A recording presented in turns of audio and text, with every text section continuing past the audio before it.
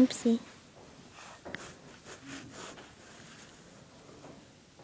Sorry guys. Just trying to the perfect angle for the camera.